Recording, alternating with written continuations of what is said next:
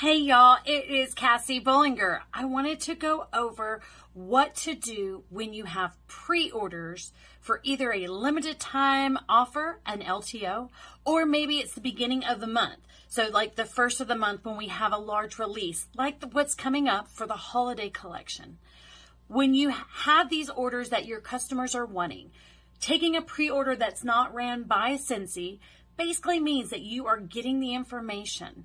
You are calculating the cost of each item along with their tax and or their shipping. Um, it may be coming to you so you don't have to worry about the shipping, but if it's going to them, you want to make sure that you are calculating it correctly. What you do in the system is when you go to your workstation, you want to make sure that you create a individual order for that customer. Now you can attach that to other parties. Um, that way you're still getting the credit on those parties, but those are done separately. Now, if you have enough pre-orders, then you can create one party and add them in there as guests in the party and you can add to their cart if you're closing everything out all at once. I know it may sound a little bit complicated, but I'm going to attach a video that you will get to know and watch me go through creating just an individual order. And then secondary is doing a whole party for all the pre-orders that you have being shipped out either directly or all coming to you so that you know how to process the orders. So stay tuned and watch for that video. Okay, so now we're on the laptop and we are about to create either an individual order or we're going to create a party and add all of our orders because they're going to be over $200 for an LTO. Here we go. Now on my screen, I am in my workstation. I've already logged in. What we're gonna do is if we have an individual order, so we only have one pre-order or maybe two, but it's not gonna be over 200 so you can close out a party. What we're gonna do is we're gonna start with individual order. When we go in here, it's going to ask for the customer. Now, is this for you or is it for the customer? If we're shipping it to the customer, or even if you're shipping it to yourself, you still want to put it under the customer's name. The reason why is that you want to be able to keep track of all the orders that they've had since they've been your customer. So here we go. We're going to type in test.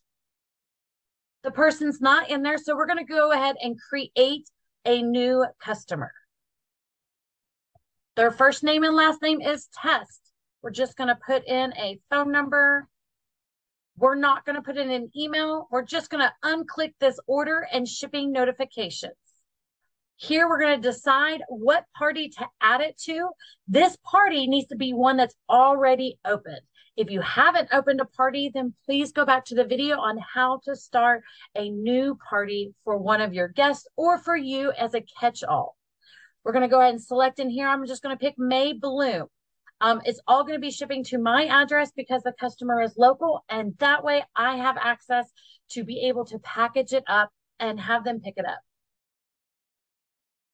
We do save and continue. And here is all their information. Now, at this point, since it's a pre-order and we aren't able to order right now, you would leave this as is. You'd be able to come back to this individual order under open orders at the top of the screen. So here it says orders. You would be able to find it in open orders down towards the bottom in the individual orders. Now, when it's time, you want to go ahead and log on to your workstation or to your PWS early enough, about an hour before release. So I would say about 11 o'clock if the release is at 12 p.m. Central. Now, again, when it's in the morning and it releases really early, I'm in Central Standard Time, so that would be 2 a.m. I would go through this whole same process to do pre-orders at the first of the month, or if they're even released during the day um, on whichever day they're released.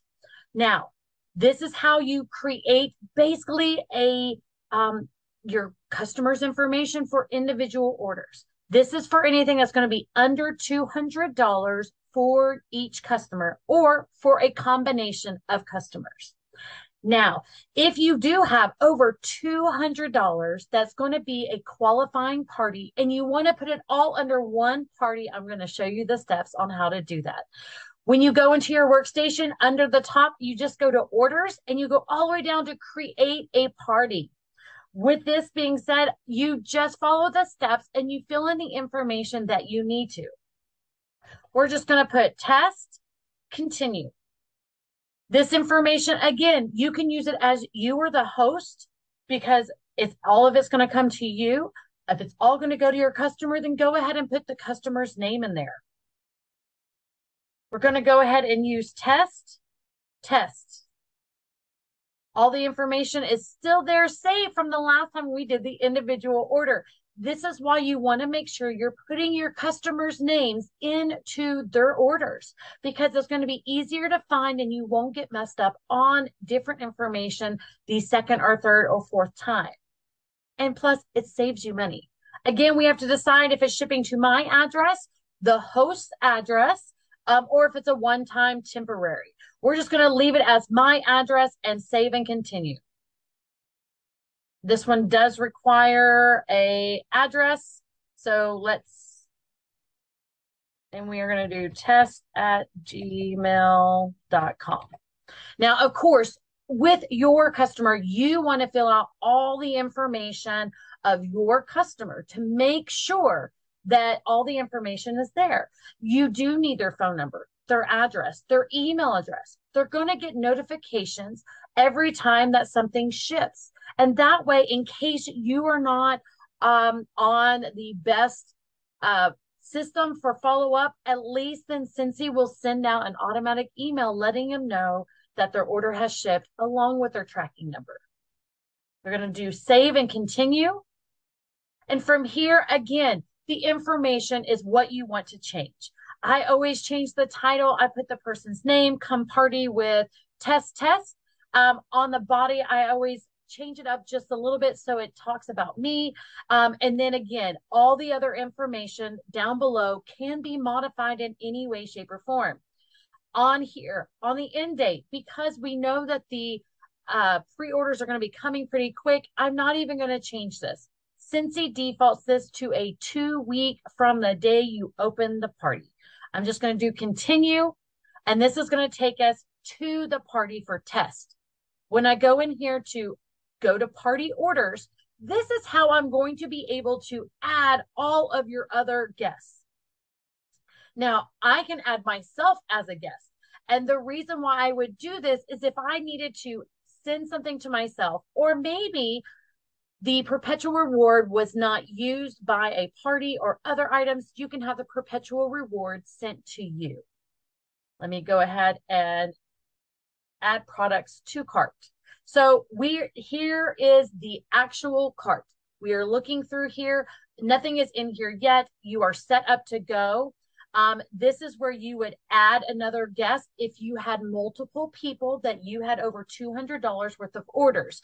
That way, when you came in and after the queue, you were able to enter in each person's order.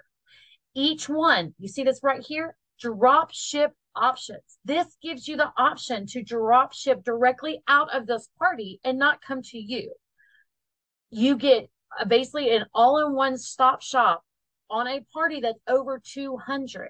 So again, make sure you have over 200 in um, sales and you can create a party and have everything shipped and have it all in one spot to make your LTO a fast and easy process.